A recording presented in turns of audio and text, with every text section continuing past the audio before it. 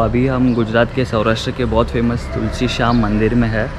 Tulsi Shyam is a very ancient Lord Krishna temple it's believe that Lord Krishna eliminated the demon Tul that's where it got its name from Tulsi Shyam Shyam refer to as Krishna Bhagwan so let's get to know this historical place little it is situated in Gir forest on the border of Amreli in Gujarat you will find forest on both the ends ये पूरा जंगल ही अच्छा ये पूरा हाँ Tigers and leopards are spotted late evening, so it's safe to visit daytime.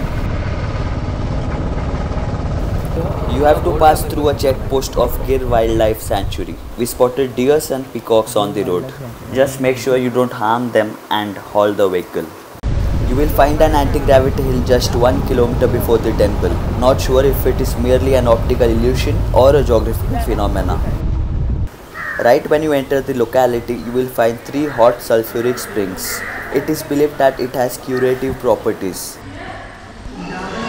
The one that I visited was boiling hot. गरम पानी है Mama says that aged people dive in this hot spring.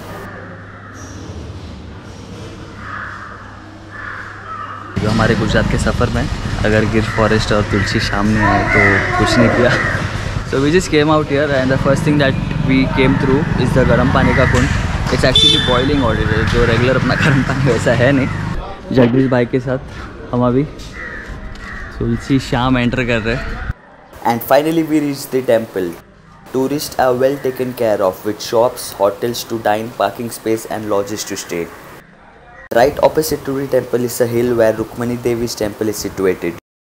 It is believed that Rukmani Devi had a feud with Lord Krishna and she got upset and went on top oh. of this hill.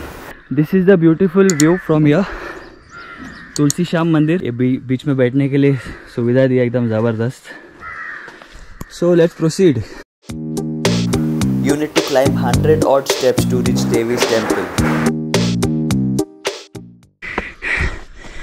So मेरे वजह से जगदीश भाई को break लेना पड़ रहा है। क्या बात है। कड़क। फिर अपन मंदिर में प्रवेश करें। तो माँ का मंदिर है इधर। और हाथ में उसका आटे का गेहूँ बाजरे का आटे का वो जो रोतलो अपन हाँ, घर पे बनता था ओके। वो ऊपर से नीचे से लेके इधर ऊपर आ गए। ओ नाराज़ होके रूट के। हाँ रूट के ऐसे। ओके। तो इधर आके बैठ गए माता जी हाँ हाँ। तो यहाँ ऊपर अभी दिखेगा मतलब माता के हाँ। हाथ में क्या बात है?